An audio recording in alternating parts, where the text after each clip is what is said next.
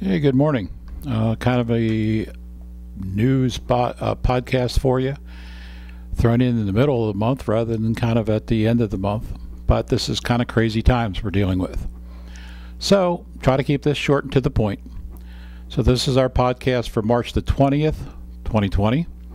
And we'll kick off with the obvious, the coronavirus uh, number 19, and some of the precautions. The American Heart Association has put out some of the precautions to use we are still running classes, one class a day. Uh, mannequins are getting wiped down, the masks are getting wiped down. Uh, short of wiping the person down, everything's being done to protect them from the mannequins, them from us. The class size is no more than five, so we are reducing the size of the class. Uh, and so far, we are capable of running one class a day. Some of our classes only have one student in it. So we're still able to offer a service to our mainly medical providers because they're the ones that kind of still need this. Uh, so we're still doing it. So remember that uh, it can still be done, but for the most part, uh, most of our classes in the field have literally come to a complete standstill. So we're not doing any group classes out there for construction companies. Uh, some of our government contracts, everything's pretty much shut down. So we'll have to see when that kicks back off again, and, and uh, I'm sure that you guys are going through the exact same issues that we are. Uh, all small businesses are. One of the things that Heart has talked about is using a mask and one-way valve. Okay, and so what I have here is a thing called a Practi valve. And if you look in the magazines and in the literature, it talks about these Practi valves as being a one-way valve. They are not. A one-way valve allows the air to go into the patient but rediverts the air coming out so that the air does not come back out the same mouthpiece you're blowing into. That's what makes it a one-way valve. These you can blow the air that direction, you can blow the air this direction. Okay, so these are not one-way valves. Your one-way valves run about five dollars a piece. They're available, you know, online. You can buy those um, from almost anybody, but make sure that it truly is a one-way valve. It's the same valve that will come with your pocket mask. When you open your pocket mask up, this is what the one-way valve looks like. You blow in here. These have little filters on them. But the bottom line is the air will not go back out this direction. It's rediverted back out the bottom of this so it does not come back out this mouthpiece. That's what makes it a one-way valve. Okay, this is what you need if you use certain type mannequins. Okay, so the Practi valve will fit your pocket mask, so they can be used on the pocket mask very well. Almost any your bag valve mask, these are all calibrated the same size, so it can be used on those masks as well. Here's the issue: if you're using a Laerdal mannequin, and that was the beginning of Annie's. That's the beginning of mannequins that I started working with. All the Laerdal mannequins exhale at the back of their heads. They actually have a one-way valve built into the lungs, so that when you blow into the lungs and the air comes back out, it does not come back out the mouth of the mannequin. It comes out the back of the head. Okay, so they've got a one-way valve built into the system.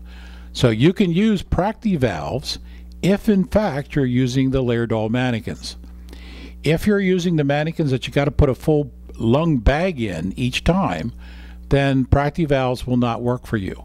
You must use the one-way valves. Okay? This is what you need if you're going to use those other type mannequins. If you're using Laerdal mannequins, you can get by with Practi valves. Okay?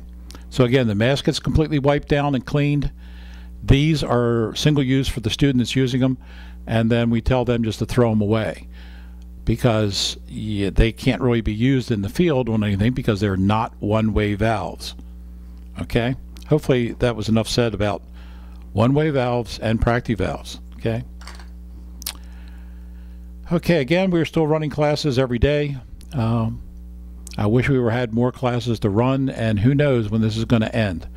So this is going to be interesting. As a result of that, we've gotten a few of our instructors that want to do Skype training kind of like a classroom for their people via Skype. That's kind of a great idea. Uh, it's no different than the Heart Association, where we send our students to the Heart Association. Their online is interactive. It's it's really a good program. However, it costs the students, I think it's like $28, $29, something like that, for them to take that online portion. Keep in mind, though, when they do that, they also get an ebook with that, so that kind of makes up for some other issues, too.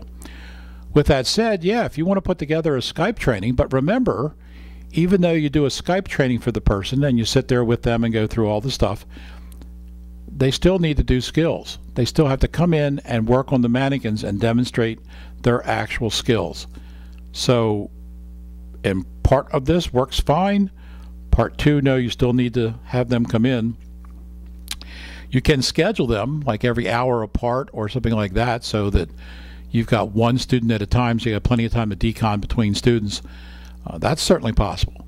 The only other thing I would like to do is if you decide to like do a, a, a Skype type training and put that on YouTube, before you release it to everybody to use, send a copy to me so I can actually look at it and make sure there are no mistakes in your training video. Okay, the worst thing we can do is have you out there saying, you know, compress the forehead, blow into the ear, and that's part of your training video, then that goes out to all these people. So no, let us look at it first, make sure everything looks okay, no glaring mistakes or errors, and then we'll come back and say that you know that's this ready to go. You feel free to use it. Okay, so kind of a neat idea. So I'm glad folks are starting to think outside the box as to how we deal with this issue of the virus, but still be able to do our training and continue our education for our medical personnel. Starting shortly, we will be reducing hours here at PPM.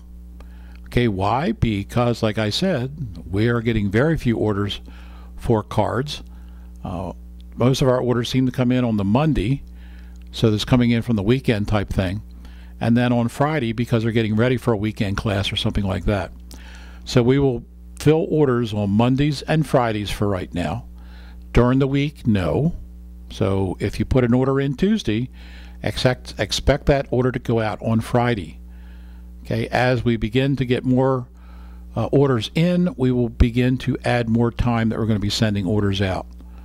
So it's just a matter of trying to keep PPM's doors open as well as your doors open. Okay. Now, monitoring classes.